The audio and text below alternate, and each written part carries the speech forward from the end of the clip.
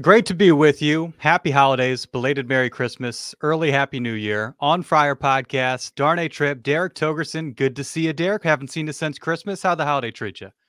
Very well. How about you? Good, good. No complaints at all. Good to be on with you again. And uh, we've got one of our favorite guests, Derek, a guy whose brain we always enjoy picking, and a topic that is very important as the Padres try and construct this roster. Uh, so, very much looking forward to this conversation with John Conniff, friend from Mad Friars. Uh, look forward to picking his brain about uh, the Padres, the prospects, and uh, how much help we can expect, the club can expect in the coming months in the coming season. First things first, thanks to OG's sponsor, the On Friar podcast.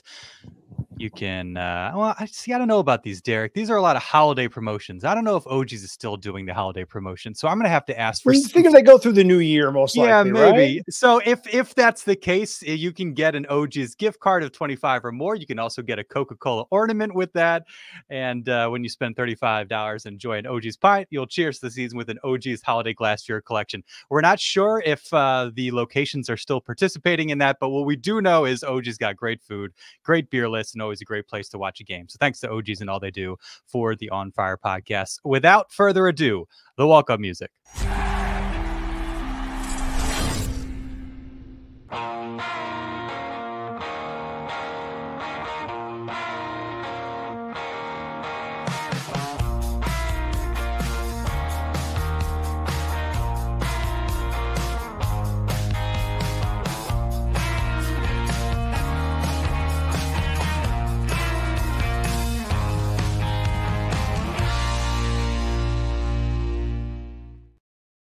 It is the On Friar podcast. There is much to discuss, and the perfect guy to discuss it with. He is John Conniff of Mad Friars. Using I, the J.J. Abrams lens flare today, too. I like it. I know. Dramatic lighting there.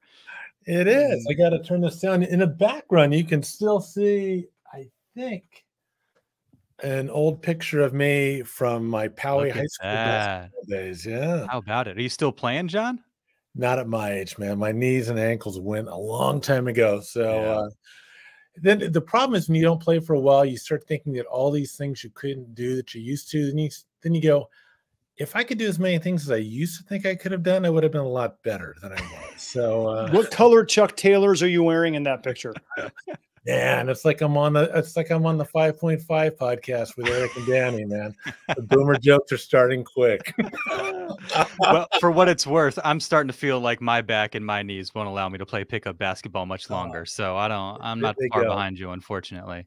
Yes. Well, appreciate you doing this in short notice. You'd reached out a few weeks ago. Uh, you dropped your top 30 as you guys always do uh, in waves. Yours was the first out on mm-hmm. madfriars.com and you guys obviously always do a fantastic job. Um, you know, nobody nobody covers uh, the prospects, the farm quite like you guys and uh, this is, you know, a great time to kind of get refreshed as they trickle out. When's the next one coming out? Yours is out. Next one should either be uh, David J or Kevin Charity, and then Ben Davey and Mark Wilkins to follow up. And then the big one, which we do right before the start of spring training, we do, you know, we do a top 30 so everyone can compare them to how we do Baseball America MLB pipeline. But our big one we do is a top 20, which, you know, if you're, um, if you're a Padres fan and you're kind of interested in the minors, knowing about the top 20 guys, you're going to be fine with that, or even more the top 10, because – one thing by doing the minor leagues, you see how many guys are are and just how difficult it really is to to make it to the major leagues, and that's always a part that's kind of interesting for me. No doubt. This, the, the only question anybody has, John, this is all, hmm. all I want to ask you today is uh aside from Ethan Salas, who was untouchable, yeah. do the Padres have the players in the minor league system to get Randy or Arozarena before spring training? I think there's about four guys that are close to being untouchable, about the top four list. And, you know, as we talked about, um, I think before and with some other people is, you know, the Padres kind of kind of got to start being on uh, a budget after living the champagne dreams. So they're going to need these guys to come up. And I think the problem with the Arozarena is he's about they only have him for two years and he'll be kind of expensive.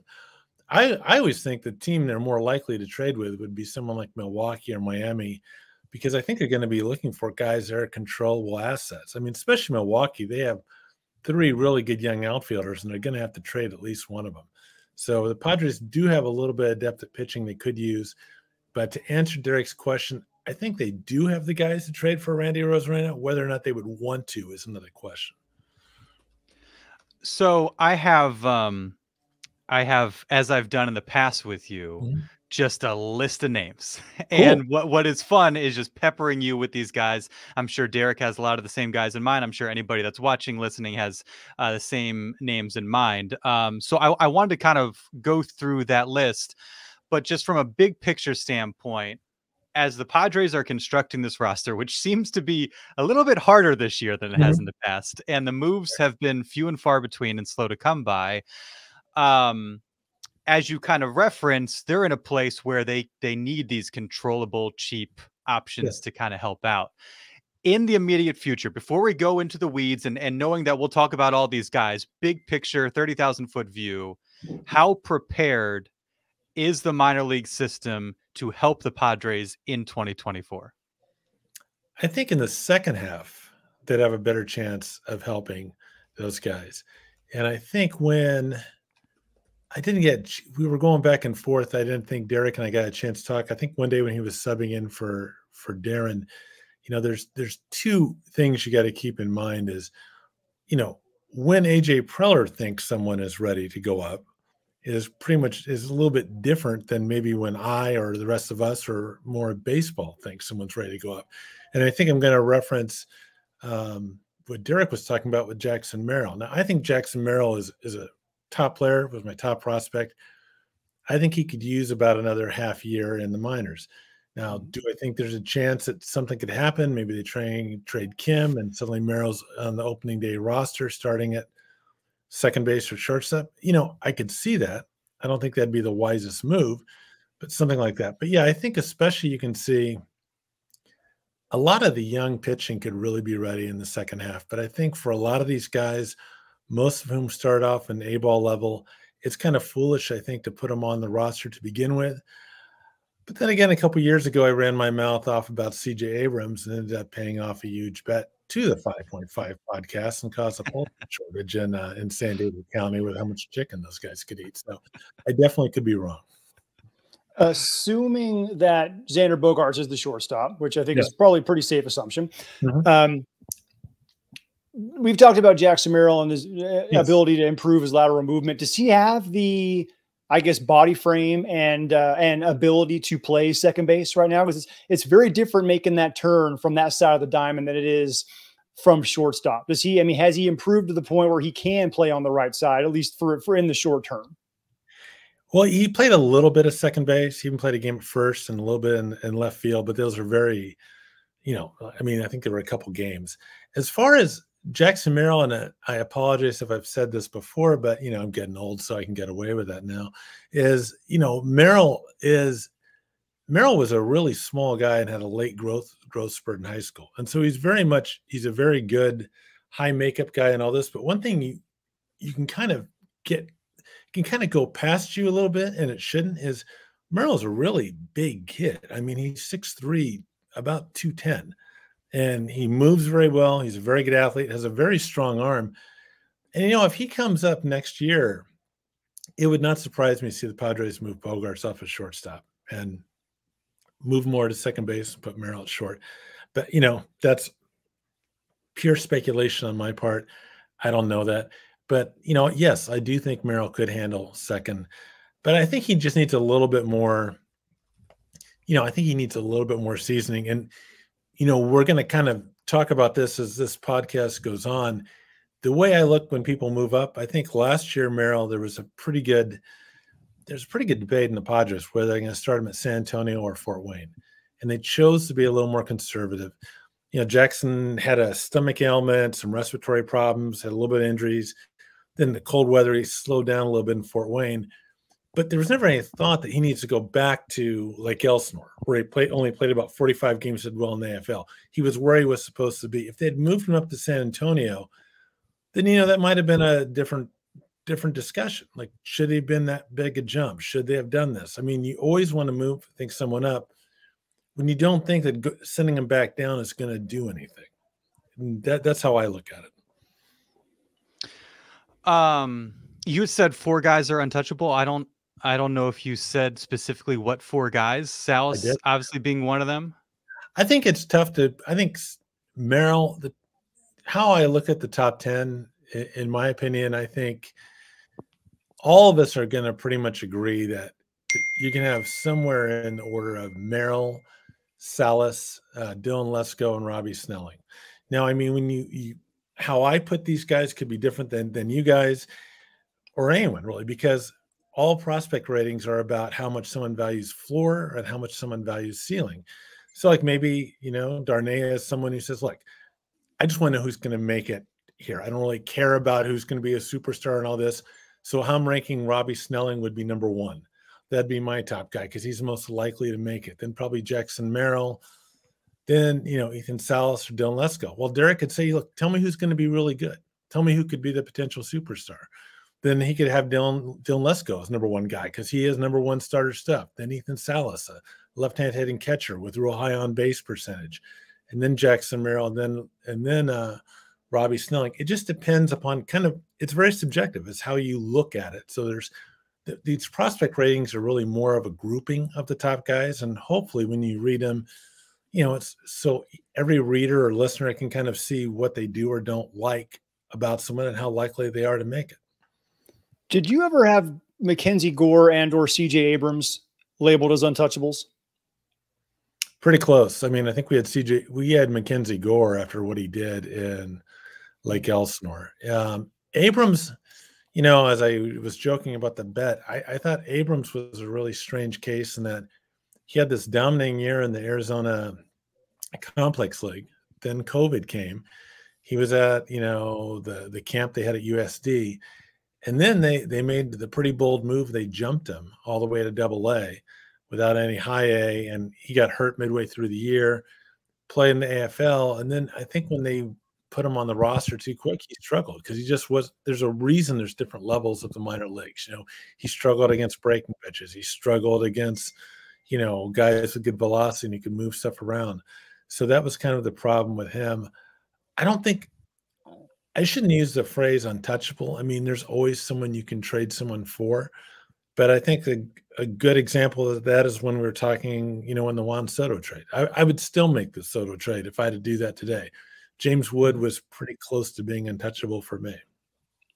See, that's that's the reason I was asking is because you got these these four guys here listed as the quote unquote untouchables, mm-hmm. but CJ Abrams, Mackenzie Gore, James Wood were traded for Juan Soto. Yeah. So I wondered if you guys had them eh, are are Merrill, Snelling better prospects than Gore and Abrams in your eyes, or is Juan Soto just a special case of yeah, in you get a guy like that, literally nobody is untouchable. I think I think that's a great question, and I think it's kind of a both. You know, I think one if Juan Soto was out there and you get a chance for a three-year window, and as a San Diego Padres fan since 1976, who's seen this team win a grand total of one World Series game going into its 55th year, yes, I would like to. I'd like to see a championship before I leave this planet. Um, so you would have to take that that deal. As far as if they're better prospects, I mean, a lot of these things are just kind of ebbs and flows. I mean, I think Mackenzie Gore was much more tradable when they did it compared to if he had had the same type of success that he did at Elsinore at the higher levels. I mean, he ran into some back issues, some mechanics things. There were some, I think there were some development issues. And, you know, it's kind of the thing I worry a little bit about with Ethan Salas right now myself, but I think I'm more in the minority on that. We'll obviously uh, get to Ethan just to kind of button up the Merrill conversation. You already mm-hmm. touched on it, but we, have got some questions coming in about him filling the hole in left field, and another about how his bat plays. You know, because we're talking about like offensive profiles to suit positions, and that was kind of the Jake Cronenworth issue. Is like he doesn't have a first baseman's bat, and so it's kind of a clunky fit. Um, if if and I think there are questions about his power too, and and mm-hmm. how he's developed from that standpoint um, how how would you assess Jackson Merrill, his profile, having had some experience in the outfield, and as he's developing as a, as a power hitter, whether he would be a natural fit in a position like that? He's a very you know he's a very good prospect. He's a very good athlete. One thing we really kind of wanted to see from from Jackson coming into this year was he's a left right guy, so a lot of his power was kind of to left center and we went to see if he could pull the ball a little bit more, and he definitely showed he could pull the ball in Fort Wayne. So he's really starting to come in to his power. You know, as I said, I just think I think they have him pegged right now to be at El Paso for AAA, and seeing a, a combination of better breaking pitches, better spin, I think is really going to help him. And I think the power could come if you put him in there on opening day. I think the power would be a little lacking. I think a lot of things would be. It'd be a bit of a, a rush in my opinion. So, you know, I think he's fine for about a half year there. Now we got a couple different ways we can go here because you talked mm-hmm. about. The, the, uh, I'm sure Darnay has a list of guys he wants to get to, but then we talked about the Juan Soto thing. Um, mm-hmm. I'll take it in this direction to another guy to talk about because he's the one that AJ Preller brought up during the post Juan Soto trade press conference, and it's Jacob Marcy a guy yes. who kind of popped out of nowhere during the uh, the Arizona Fall League. Really hit a good year at, a, at Fort Wayne and San Antonio, and Correct. then just popped like crazy. Won the AFL MVP award, which by the way has been won by guys like Kris Bryant, Ronald Acuna Jr. So you you can't be a bad ball player and win that award. So tell us tell us your assessment on him. Is it um, too much too soon. Uh, I was I was surprised that AJ would mention him as a guy this year who could possibly take some of those at bats in left field at Petco Park. Well, we all like AJ, and AJ says a lot of things. Um, I think Jakob some of them are Marsh- true. Many of them are not. Yes. some of them are. Yeah, he's a good interview. Uh, J- well, one, I mean, th- the problem with Arizona Fall League stats are, and I've been told this by a lot of guys in you know in the minors, is that a lot of people are tend to be working on things. I mean, that's where you take the pitcher and tell them he's going to develop a curve. And if he gives up some runs, you know, that's fine. And some of the best pitchers aren't out there. You know, a guy like Buddy Reed, I'm sure you guys remember him. He had a big Arizona Fall League, and then he he couldn't hit at Amarillo. And the three of us could probably hit about 280 at Amarillo in that park. Um, if you add up all three of our totals, yes, probably about 280. I mean, well, you know, I, I saw a guy from hit an opposite field broken bat home run in Amarillo. So that's wait, wait, wait. You said opposite field, broken bat, was home run. Yeah, yeah. Reed popped one right over the left field wall when he was batting from the left side. I mean, well, the thing is, that park is at such elevation, and he, when Tony Gwynn played there a long time ago, it was this big, huge park. The one, the old part they had outside of town. So it was like playing in like a Coors Field with like a 450 down center center field and about 380 down when they got the new park, they moved inside the little downtown. So it's a small park at altitude. So when you look at Arizona Diamondback stats, Reno and Amarillo are two of the best sitting parks in the minor leagues. But as far as to go back to Jakob Marsee, Marsee was really something the Padres should be proud of. He was a six round pick. He mainly played right field. I saw him when he first came to Lake Elsinore for being drafted. I thought he was he was kind of okay. Eh, because he played right field uh, mainly in college. And then when I saw him in Fort Wayne, he does remind you of Trent Grisham in the outfield, where he makes a lot of plays look a lot easier than they they can. And the one thing you notice about him for a center fielder, and I thought Robert Hassell was a decent center fielder too when I saw him, but Hassell's one problem was he had trouble kind of going back on the ball, and that's that's a lot more difficult for a center fielder than a corner guy. Marsee has no problems, moves there he has a tremendous eye. You know, in college, he had a 400 on base percentage. He had really good on base numbers early on, but there was some. Pro- it was a question if he was too passive or pitches he was swinging at, and they really worked with him on that. And he made tremendous gains. The second half, you know, he showed a lot of power, kept on base, tremendous defender. Now, the problem with putting him in the major league lineup is he's played 16 games above A ball. Okay. So, I mean, I, I understand Arizona Fall League. Those are good numbers. Maybe that might push him to El Paso, but I think, I think putting him up there would be, wouldn't be a wise move. But, you know, watch, I'll make a bet with Eric in uh, spring training that he'll make the roster and then he'll be eating like, you know, gobs of Szechuan food when I come out to uh, San Diego. You keep losing these bets. Yeah. Oh, he can eat. Yeah. So actually, yeah. but no, uh, he's a very good player. I mean, that's a, a really good guy to focus on. Just you know, it's only 16 games. You should probably wait. And pretty much Graham Pauley's kind of in. I got a feeling that's coming next from Derek, and he's kind of in the same same boat. Why do you know me so well, John? I'm going to go through all the outfielders who could possibly be there. Kate, well, we're gonna. Caden I know you chat- and I are gonna talk about Jairo Iriarte, who we both saw in spring training. That's yeah, oh, yeah, we talked about him in spring training. Yeah. Yeah, Uh, yeah, Caden in the him. chat saying uh, between Merrill, Marsee, Martorella, and Pauley, who's primed for the biggest 2024. And if you're watching live on YouTube, get in the chat and we'll, we'll get to your questions. Um, Uh, But- Caden, does that mean who's primed for the biggest year at the big league level or biggest year in general? Good question. John, yeah. John, I'll let I'll let you go whatever direction you think is most realistic with those four. Then I think you know I put Merrill at the top. I think Merrill could have a big year. All those guys are are very good. I, I, as again, I think the main thing is just you know let let them cook a little bit. I mean, you know, it's like uh, both Darnay and I like food a lot. I mean, we could have a great chocolate cake in the oven if it calls for thirty minutes. We're not taking it out after ten. if it smells good enough, it might. it smells good. We might be tempted to do it, but you know, we, we should probably wait just a little bit. So uh those guys, you know, Pauley and Marsee are really good picks by the Padres. Uh they got them later in the draft. They've developed them really well. They made some adjustments to Pauley to get him to have a little more loft in his game. I know in Fort Wayne they were working really hard on getting Marsee to really pick his pitch and really kind of go after it. Marsee looks like a running like a high school running back that he was. Hmm. He's a he's actually a better athlete than he looks like. I mean, he can really play the hell out of center field. I mean, he is a special defensive player out there. And as you look at the tra- the trajectory for Marsee as somebody who could maybe be one of those back half of 2024 type guys Mhm. after he kind of marinates and spends a little bit more time in the oven, how much longer does Graham Pauley do you think need? Pauley, you know, I think with those guys is they they had such a you know, if those are the top four guys, you know, then you can kind of go down and I kind of would put Pauley and Marsee in a category with those two.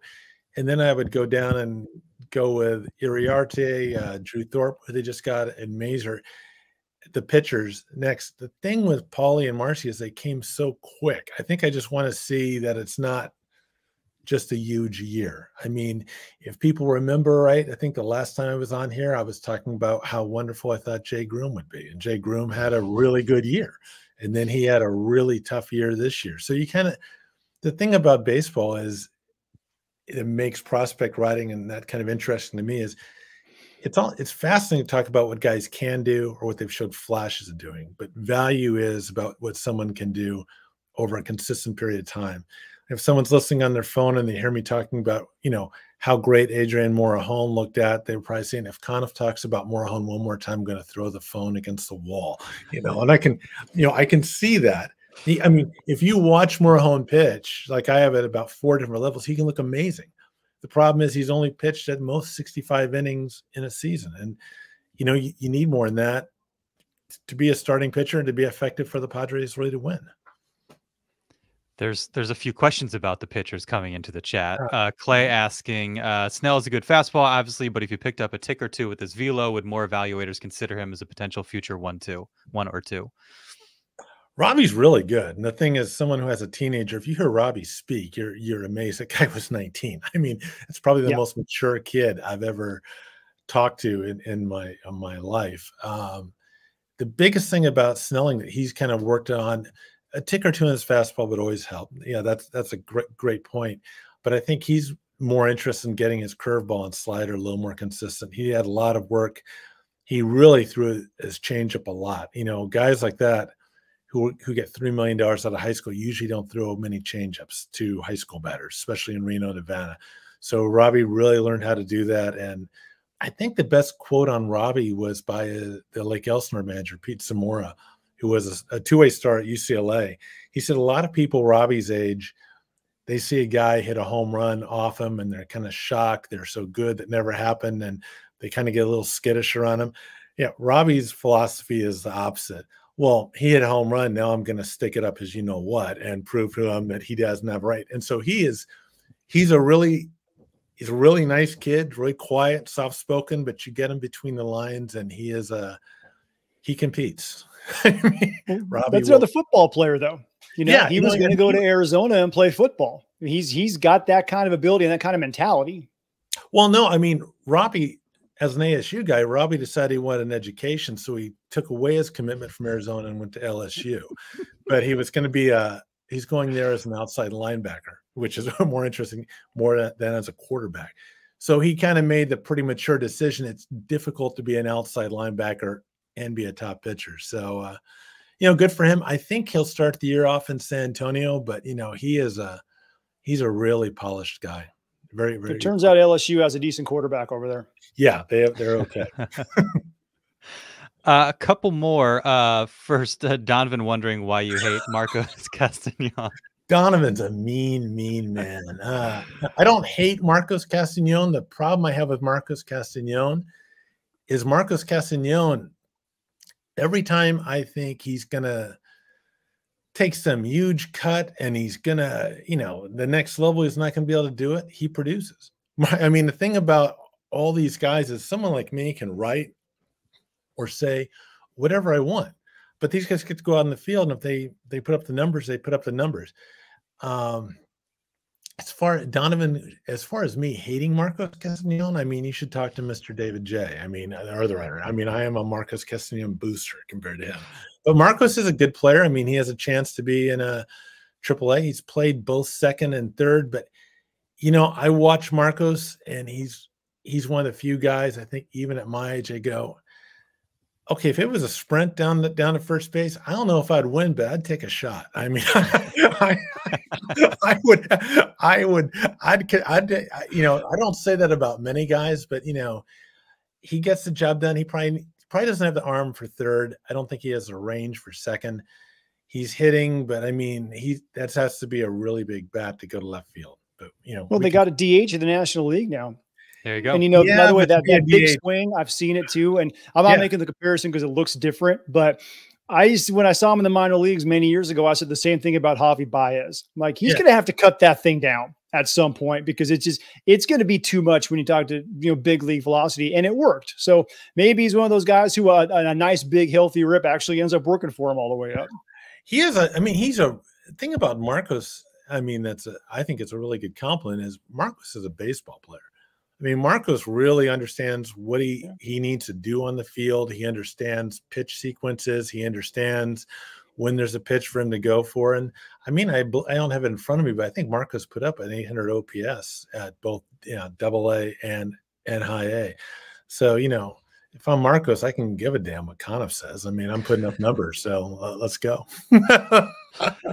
Um, um, uh, maybe more more relevant to the upcoming season. Uh, who Mm. is this Ryan Bergert fellow that we've suddenly heard about, and do you expect him to make a start this season? Ryan I like him. Yeah, Ryan Bergert is going to be the type of guy that you would probably, if Derek is talking the same way he did at spring training when we were together, you're going to hear Derek would rave about him because he raves about Jairo Iriarte. There are these guys who have these fastballs that give the optical illusion that it's rising. It's in uh, in vertically in vertically induced break or some I, IVB. I'm going to screw that up, but anyhow, what it means is High spin rate. That's that. Let's just go with the easy rate. one people know. Yeah. they throw it at the top of the zone. It's one of the few pitches where someone can under, think that there's a fast, know there's a fastball coming. And for both these guys, they throw it in about the high 90s. And you know, Ryan probably needs to kind of throw his sweeper a little bit more and work on his his changeup. But he kind of had a tough year at Fort Wayne last year, his first year coming off Tommy John. He came back, he lowered, I think his his ERA by a couple points. He went up to San Antonio, really looked good had a shorter arm swing, had a little bit more control, really kept the ball in the park mainly. That, that's the big thing. But yeah, he he's the guy I think is probably the one of the bigger sleepers that most people don't know about. So I would keep an eye on Ryan Bergert. Induced vertical break, and I know that because I'm reading your write up of him on madfriars.com. There you go. I had it there. Yeah. in in a nutshell for people who are watching on the YouTube channel, right? Most fastballs come in, at, you know, because they have the certain spin rate. They come in at a certain um, direction and they, they drop due to gravity naturally, right? Guys with the higher spin rates that have the later life on the fastball or the inverted in then vertically induced break, since they spin so well, they cut gravity better because they cut the air better, so there's less friction on them. So they come in at a higher plane. So as a hitter, your brain is used to that's fastball. It's going to come in at this angle. But with these guys, you have to retrain your brain going, it's not going to be here. It's going to be an inch higher. So that's why you see so many swings and misses with these types of fastballs. Yeah, that's that's that's a great explanation. I mean, if if someone like Eric and if someone like Eric and Danny are listening here, let me give you a simplistic version because I think that's too complicated for them. Um, when Derek and I saw him at spring training, the best description is we saw him throwing against a screen from 30 feet, okay, warming up. And both of us sat there and said, Oh, damn, I like that. I like that a lot. And then we saw him go against the Royals. And I think that people, scouts were still talking about that performance. Guys were just swinging, you know, right underneath the ball, just like he said. And he was, and everyone knew what was coming. I mean, I think he threw one slider or a changeup. It was just pure heat. So that's the big thing with Iriarte going forward is he improved his command a lot this year from where he was in Lake mm-hmm. Elsinore. And he thought he looked pretty good. He looked really good at Fort Wayne and San Antonio. They had a brief thing where they made him into a, a relief pitcher. Then he moved him back into the rotation. His slider is very good. His changeup is good. It's just a question of how consistent he can be. If it's me, I would keep him as a starter as long as I possibly can to make sure mm-hmm. if he's because if he can start, if the, that slider and you know, the changeup. I mean, that, that is a really high ceiling. I think he probably has the best fastball of all, any pitcher in in the Padres system right now. I mean, it's really good. That's that's one that you can you can hear it cooking the air as it gets to home plate. Like it's it's what, it's a weapon. Yeah, his catcher Brandon Valenzuela said everything he throws is hard. He said his damn changeup is like 91, and that's like a, people are going that's slow. And his slider when it's on is just impressive as anything too. So he's someone definitely to keep an eye on. Dylan Lesko. Dylan Lesko was a guy that was one of the easiest predictions to make when the Padres drafted him in 2022. He got hurt. He slid down the draft. If he hadn't been hurt, he probably would have been a top three or top four pick. That's absolutely AJ Preller's type of guy, ton of upside. He supposedly had Keith Law said he had one of the best changeups of any high school pitcher he's seen. I think he compared about one or two guys, and it is really a nasty changeup.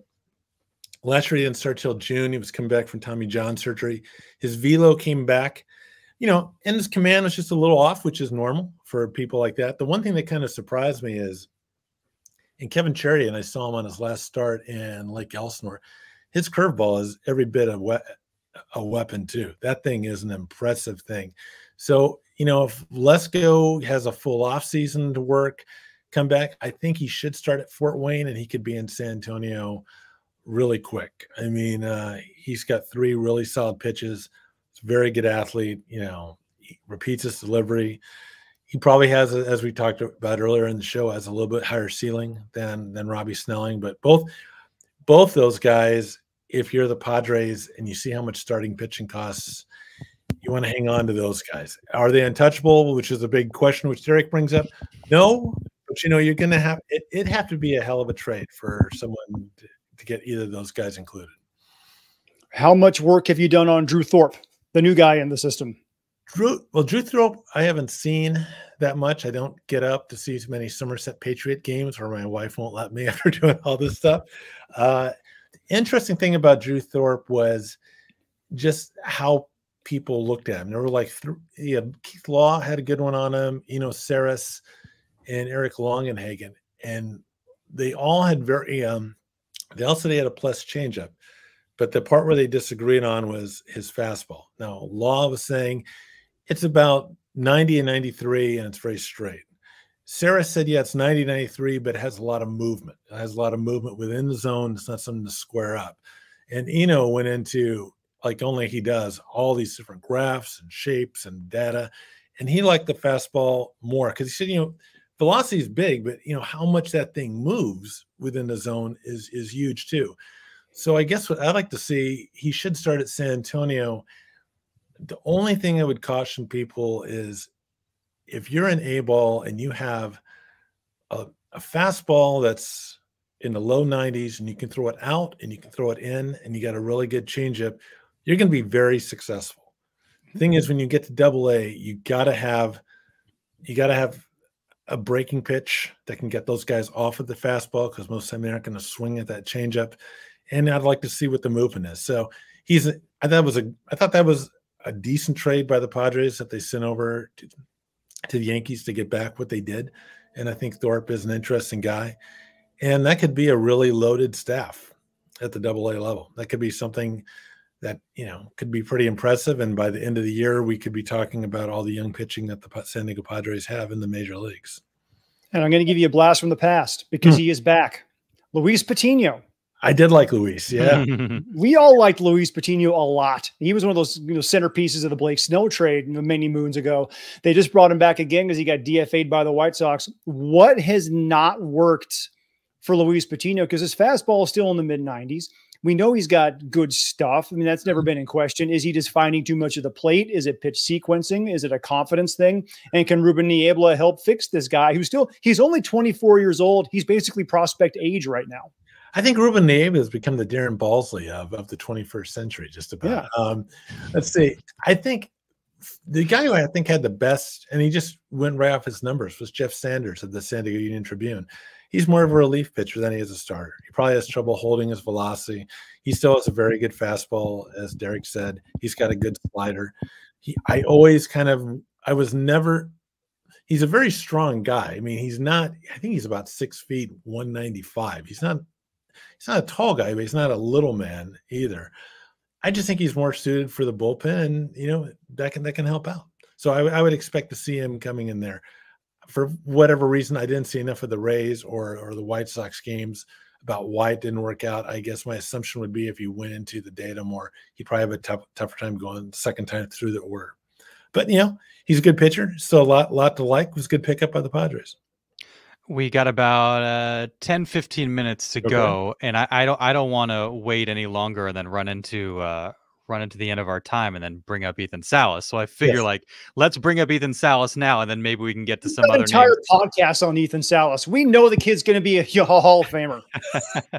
uh, so when when in 2024 is Ethan Salas coming up, John?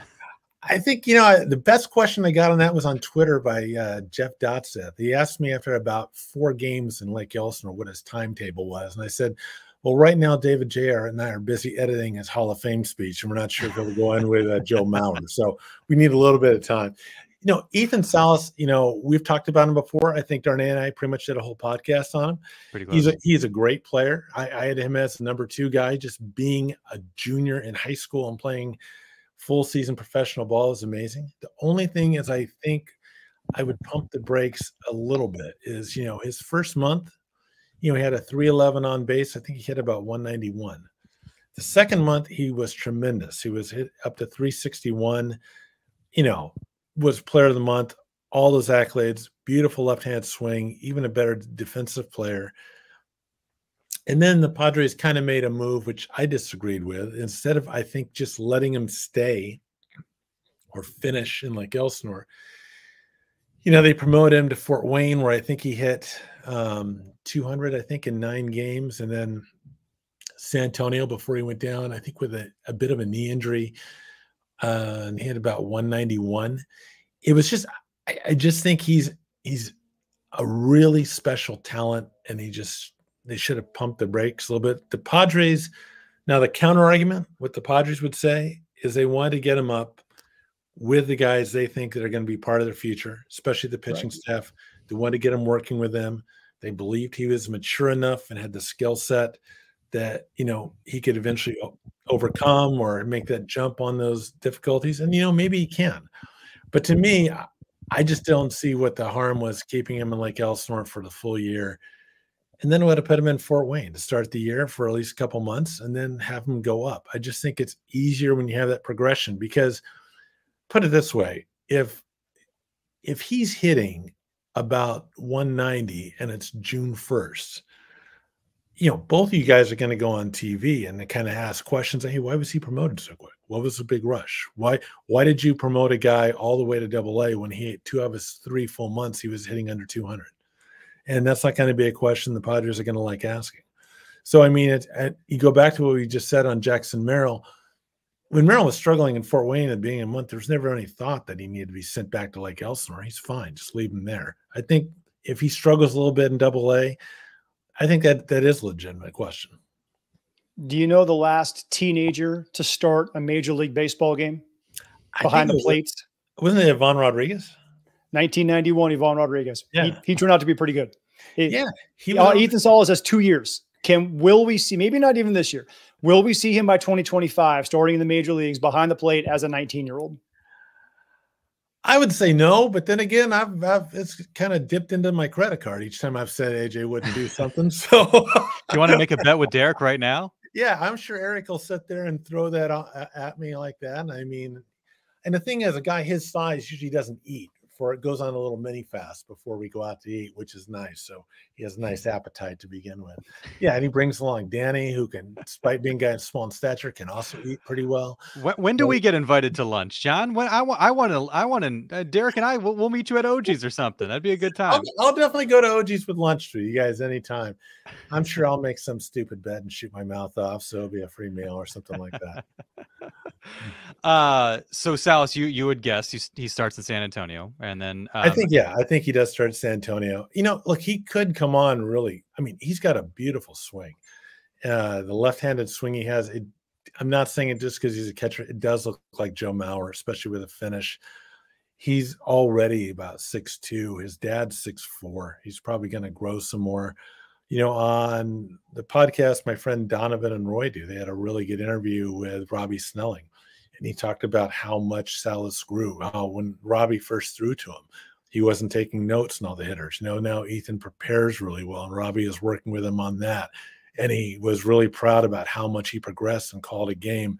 You know, Pete Zamora and Lake Elsinore talked about, you know, just the jump from being 16 to being in professional baseball you know, is incredible. I mean, I could not even imagine doing that, what he's doing when I was like a junior in high school, let alone being good enough to do that. I mean, just the maturity he has is is is uh, incredibly impressive.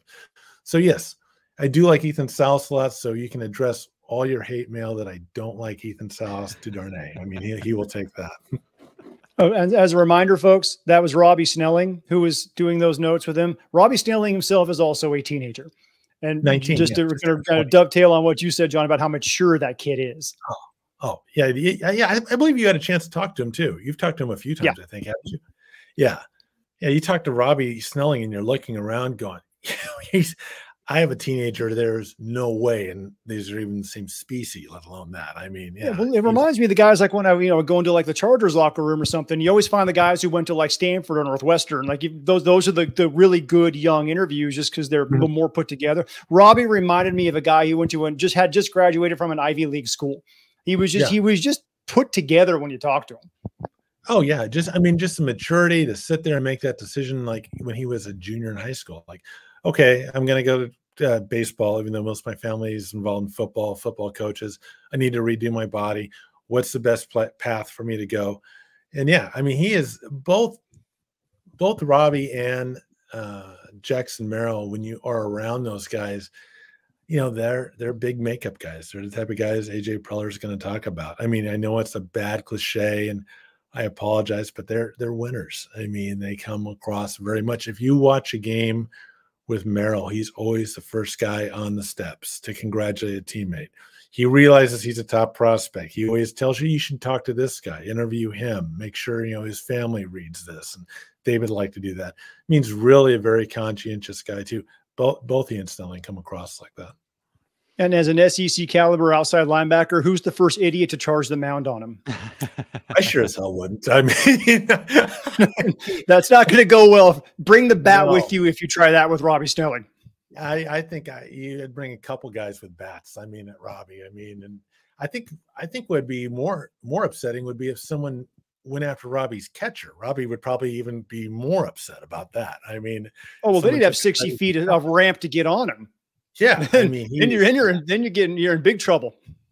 Yeah, once Robbie gets to San Diego, I, I hopefully he'll get there. He'll pitch. I mean, he will be a big media favorite. Robbie's a very very easy guy to talk to. Very intelligent. Can tell you exactly what he's doing, what he needs to work on. A, uh, a true pleasure to interview. So I'm guessing your worst nightmare for Ethan Salas is he's a minor league invite to the big league camp. He impresses everybody. We see him in more minor league or see him more Cactus League games, just like we did last year. And all of a sudden, there's kind of those those whispers. You would much rather him have an understated, below the radar, let him hang out in the smoker for a little bit long. He's got 14 hours to go. Let's not rush it at six hours type of spring. Yeah, training. Eric. Eric tells me, look, here's his stats hitting against major league pitchers compared to minor league guys. He's going to start on the Padres. I say, you're an idiot. I know this. I do this professionally. He'll say, how many times do we have to take your money, Conniff, before you finally shut up? And I'll say, not this time. And then I'll you know, I'll be looking at about a three-figure bill at, at, a local Chinese restaurant, which I think is the next place we're going to try. So yeah, it would be something like that. um, they're good guys. He, I tease them a lot. I really enjoy being around them. So it's it's even fun to lose bets to them. But go ahead. Uh, as we continue down the names, unless there's there's somebody top of mind for you, Derek, um, I can just keep plowing through my list. Um, I don't know if we touched on Adam Mazur. I think his name might have come mm-hmm. up. I don't know how in depth we got with him. No, I mean Mazur's interesting guy because when I interviewed Mazur and I, I just seen him pitch, was I thought there's no way this guy throws in the mid 90s, which he did. He's about six two. He might be about he might be about 178 after three of those pork tenderloin sandwiches that I, I sent uh, Darnay a picture of. Very intelligent guy, knows how to use his whole body uh, was at South Dakota State, then transferred to Iowa, was a Big Ten pitcher. I think Keith Law had a really good description, which is appropriate. Is he's got a good fastball that sits in about the mid 90s. He has a very, he's got a very good curve, slider, and changeup. Probably a little bit more slider and changeup right now. When all four of them are going, that's what makes him tough because some of the four makes him a little better than one individual pitch. But yeah, Mazur's someone to keep an eye on. That's why I think if the Padres are looking for an outfield fielder, a young, controllable guy, they possibly could trade one of the double A pitchers. I don't think they would trade a Lesko, a Snelling, Iriarte, or Thorpe, but Mazur or Bergert could be someone I could see them thinking about because they do need an outfielder. And as much as my my friend Derek here wants a Arozarena, I, I'm not sure the Padres are going to pay for that. So We'll see. I would like a Rose. do about seven million this year, and he got three years of arbitration.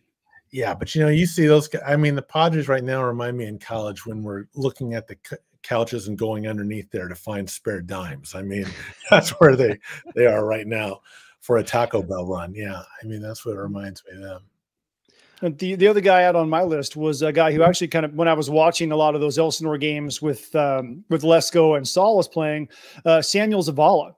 He Ooh. jumped I mean, yes. that, the, the ball again, not a very big guy. He had a couple home runs that I don't think have landed yet, and he he really popped for me at least this year. Uh, where did this kid come from, and uh, what what is his timeline to really make an impact?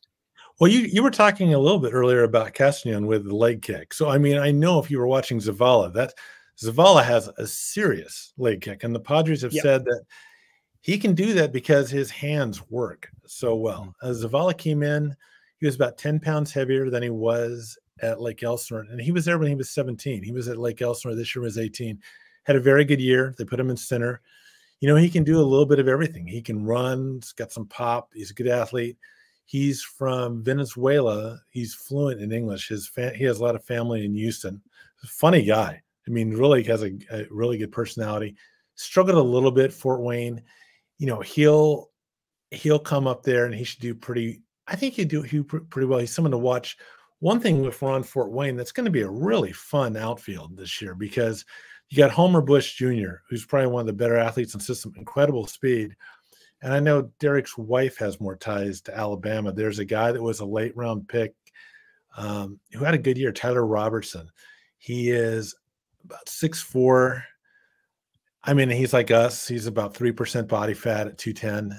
I mean, he can run he and those three guys covering the outfield, it's just amazing to see. Robertson went to, I think it was Louisiana Lafayette.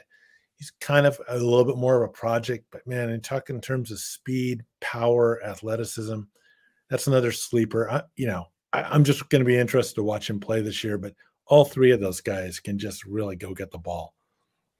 Uh, maybe we wrap up with a quick word on Dylan Head. Tommy was asking about him, what we should expect from him in the coming year. I haven't seen enough of Dylan Head. I mean, to really give a a great analysis. And I'm always kind of, you know, I think on David and Kevin might do a little bit different when they do rankings, and Ben and Mark is how much you're ranking someone on kind of what they did as a prep. Dylan Head has tremendous speed. You know, he's going to play in center field. He'll be in Lake Elsinore this year. I expect him to run a lot more than he did this year. One thing that's kind of surprising about Dylan Head is he's got a really good idea of how to play play the game. You know, he has a really good eye at the plate. He understands what he's trying to do. Left-handed, yeah, he should be a blast to watch. Another thing, too, real quick, would be the Padres took a lot of tall young pitchers. So you might want to, if you're really into it and you're a geek at this, like we are. I mean, you might want to keep an eye on the Arizona Complex League. They're going to have a guy called uh, the last guy, uh, they got a Texas, a big kid called Cannon Kemp, who's about six mm-hmm. six and throws in the high 90s. He's someone that I remember I like quite a bit. Um, you know, there's I remember when they drafted him. He's a aptly named Cannon. Yeah, huge, yeah, huge guy. Should be kind of fun to watch. They got two late round picks, both about six four, six five. They're young, so you know there could be some some interesting guys down there to keep an eye on too. And Carson Montgomery is a guy they got out of Florida State, who was one of the highest ranked guys in upon the college campus. He struggled at Florida State for whatever reason. Padres took him 11th round, 200,000. The thing with him is he throws in the mid 90s, but he has a real straight fastball. He's got a good slider and good changeup. And so, you know, if you're one of those pitching development coaches, and, you know, as much as I like Jackson Wolf, who was the guy who was uh, traded, you know, to to Pittsburgh, you know, he was six seven and he could kind of touch 90 occasionally, you know, and he really worked with him to get there. But you tell a pitching coach, you know, if you guys were that, like, hey, here you go. This guy throws in the mid 90s, needs a little bit more deception, kind of mix around where slider and changeup goes. The guy goes, let's go. I mean, right now, because you have the talent and you can work with him. So that would be a good guy to, I think, to keep an eye on as well. Hey, he went to Florida State, man. If he doesn't make the major leagues, he'll just sue saying that he should be there. John, you're the best. We appreciate you. Appreciate all that you guys do. Obviously, if if you don't know of MadFriars, you you should. If you're a Padres fan, check them out. Uh, support them and all that they do. Uh, we appreciate it. Be on the lookout for the upcoming rankings, and let's get lunch sometime when you're in San Diego. Let's make it happen. Definitely, and thank you guys for always having me on. It's always a blast, and uh, hopefully we'll catch you guys at spring training. Absolutely. And we'll, I'll tell you what, the spring training, we will actually try to find a place in Peoria. It will be difficult, but we, we got a couple options. So uh, we'll definitely do lunch or something like that if you guys are out there. I'm in. No, the Let's hard part is finding a non-chain in Peoria. right. Yeah, we're, we're not eating at Olive Garden. I'm half Italian. That's just not going to happen. So uh, my apologies to Marty Caswell, who's a friend of mine. I'll say this when she's not listening because I'm afraid of Marty. So. oh my gosh, salt your water. It's not that difficult. oh, exactly. exactly. You're the best. Thank you, John. Thanks, guys.